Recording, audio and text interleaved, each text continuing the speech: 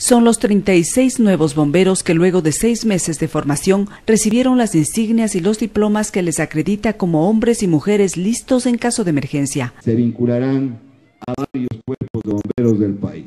Se trata de la octava promoción de la Escuela de Formación del Cuerpo de Bomberos de Ibarra, abierta en el año 2006. El día 28 de noviembre del 2006, con el acuerdo 0621. El comandante de la casaca roja en Ibarra resaltó los avances de la institución logrados en los últimos años. No se puede desconocer a dónde ha llegado ya la institución bomberil a nivel nacional.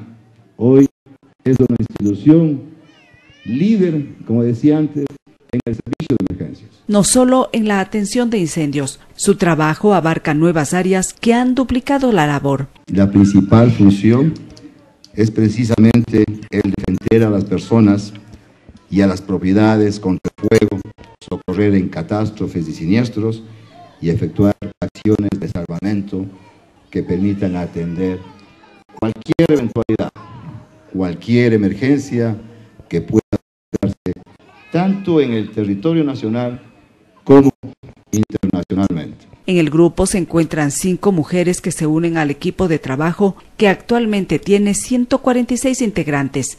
Para mí es un orgullo haber terminado este curso con la frente en alto para podernos formar y servir después a nuestra ciudad de la mejor manera. El compromiso, estar siempre listos en caso de emergencia. Las personas que necesitan, tenemos que salvaguardar la vida de ellos. Ese es nuestra, nuestro trabajo y nuestro ideal, salvar la vida de las demás personas y si es necesario dar la nuestra para la de las demás.